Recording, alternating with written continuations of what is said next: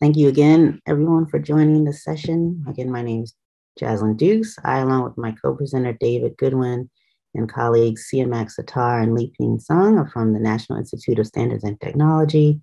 And today we're going to talk about our research on the performance of externally bonded fiber reinforced polymer uh, composite systems and resilient infrastructure. I want to start by discussing why we're focused on this particular uh, FR composite systems and infrastructure topic. Fiber reinforced composites, and in particular, we're talking about externally bonded fiber reinforced polymers, are lightweight, strong, and corrosion resistant materials that has gained popularity for use in the retrofitting and strengthening of concrete structures. Um, however, there remains some unknown still about the performance of these FR composite systems, such as how the performance changes over time, as well as how much the performance improves initially, and these topics still need to be explored and researched. NIST has developed a unique project uh, or program in which we are developing different projects to study this topic of FRP from multiple levels, from the materials level to the assembly FRP on concrete level to the structural scale level, in order to integrate all these knowledge areas to understand how FRP can ultimately enhance community resilience. We began our project by holding a workshop back in 2018 to identify different FRP research needs. And the purpose of this workshop was to identify those needs in order to assess and improve the performance of FR composite materials for retrofit and repair. We invited 40 experts in FRP materials manufacturing, structural design, and retrofit with FRP, and different researchers to engage in breakout sessions surrounding two main focuses the performance of materials and the performance of structures retrofitted with FRP. Some of the products of this workshop include helping us to develop a research plan based on identified needs, publishing a report documenting those findings from the workshop and our literature review, and we also were able to get a highlight in a recent issue of the ASCE magazine. There is also an accompanying ACI special publication paper that is based on our report that will soon be released uh, on this workshop and the results of the breakout sessions. These next few slides will describe the NIST research plan for FRP composite systems. So like I mentioned, uh, we used the results of the workshop as well as our literature review and the facts of our internal expertise and capabilities to develop a research plan surrounding FR composite systems. And again, these range from the material level to the structural level, and they include looking at retrofitted shear walls, the research gaps, and the available experiments, and also looking at testing in the future, accelerated and outdoor weathering studies, for durability testing, assessing the variability of the pull-off test, which is a commonly used test in the field to determine bond quality after installation of FRP. And also we investigated the performance of retrofitted structures after the 2018 Anchorage earthquake in Alaska. So our project on FRP retrofitted shear walls, we recognize that FRP is being more commonly used to retrofit reinforced concrete components, including shear walls. But we also realized that there was a concern that there was a lack of testing and experiments of these retrofitted components that would lead to maybe a lack of understanding of the performance of these components. And we understand that there's no modeling parameters in performance-based seismic design codes that are specific for retrofitted concrete walls. So we decided to uh, address that issue by developing a database of all known and available tests that have been performed on retrofitted shear walls in order to develop modeling parameters that can be implemented in PBSD codes such as ACI 369 and ASCE 41. Here I share an overview of the project thus far. We started by developing the database, which currently has over 150 specimens included.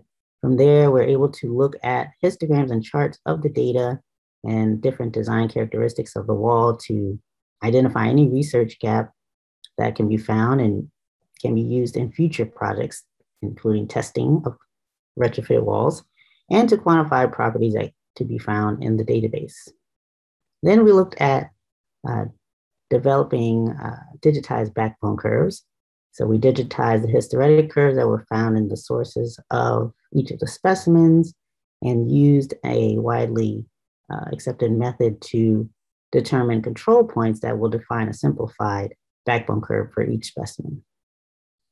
Then we identified key design parameters that can be used to determine uh, our modeling parameters.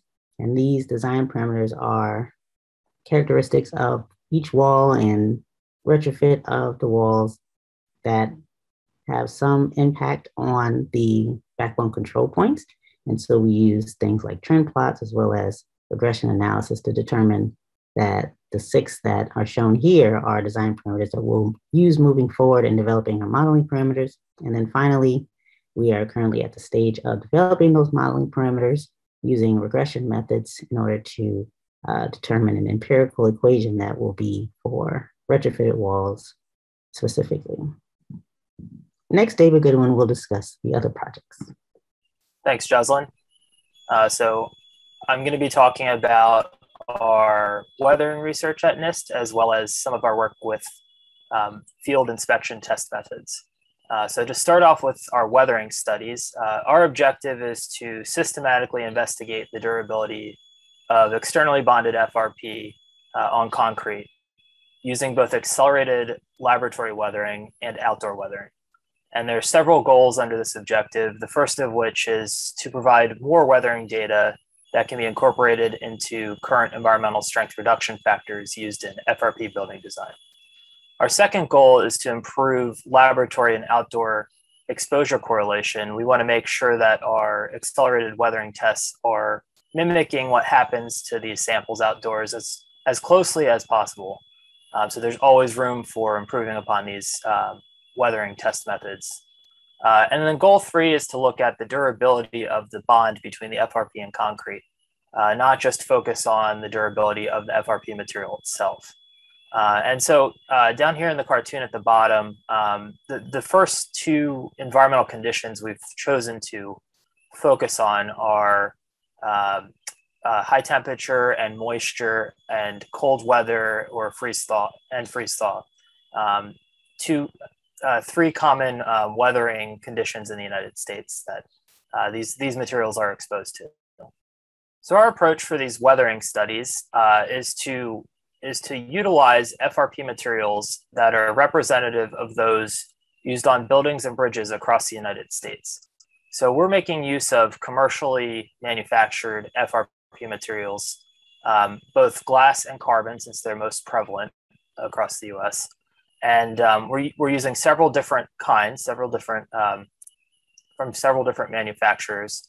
And we're starting off using the um, classic three-point bending concrete uh, prism uh, and, and, and placing you know, our FRP on the tension face with patches on the side for pull-off tests as well as uh, materials characterization. And um, this is likely not the only configuration we will uh, of FRP bonded to concrete we will test, but this is where we are, are choosing to start.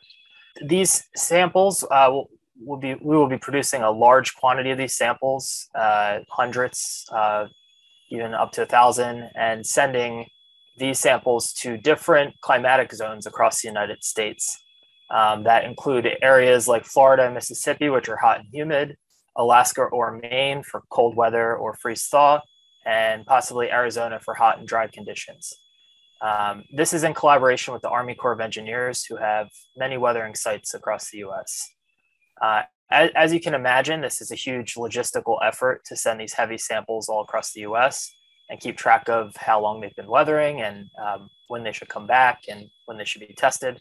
Uh, so we've created a unique tracking system, as you can see with the, the, the coin-shaped tag, RFID tag shown in the, in the middle right uh, picture. Um, we are going to be attaching these to each sample um, to, to monitor the status of the sample in terms of when it should be sent back to us and uh, when it should be tested. And these, uh, these RFID tags are, are um, can be used with your smartphone you can simply scan them with your smartphone and pull up uh, all the data related to the sample.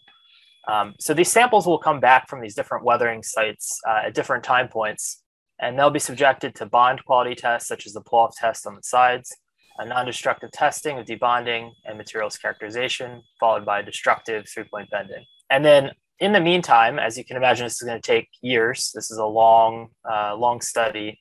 Uh, we'll be ex- conducting accelerated weathering test methods in our uh, freeze thaw chamber and humidity chambers at NIST and comparing the results as we go along uh, and helping to and starting to improve upon any test methods that, that need improvement. Also mention uh, we deployed up to Anchorage, Alaska after the 2018 Cook Inlet earthquake uh, with the purpose of looking at the structural performance of FRP retrofits on uh, structures up, up, up, up there. Many are retrofitted up there.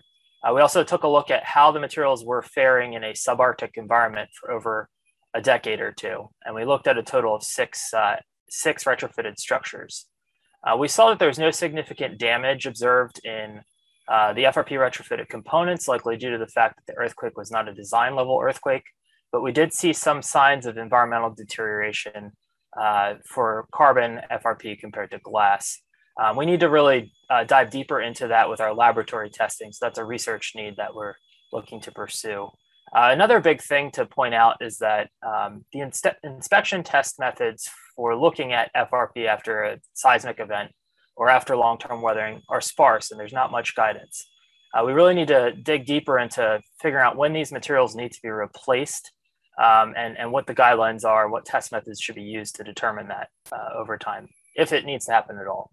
Uh, you can find more information in our recently published paper in Earthquake Spectra, uh, which is shown here on the right. Uh, I'm going to just briefly say that we're working on a, um, a we're working on looking at the uh, sources of variability in the industry standard test for bond quality for FRP to concrete, and we're we're honing in on what some of the um, some of the issues are with this test that create confusion, and we should have a report out about this in 2022. So to summarize, uh, we are generating durability data useful for environmental strength reduction factors in building design, as well as improving, uh, working to improve correlation of accelerated weathering test outdoor weathering. Uh, we're looking at improving test methods for field inspections and developing modeling parameters for shear walls and developing a list of gaps in testing data of retrofitted walls. So the last slide here, I'd just like to uh, quickly advertise that we are seeking postdocs uh, through di two different means. And my email is uh, down at the bottom there. Uh, please feel free to reach out if you're interested in a postdoc position at NIST. Thank you. All right, thanks very much. It was a really nice presentation.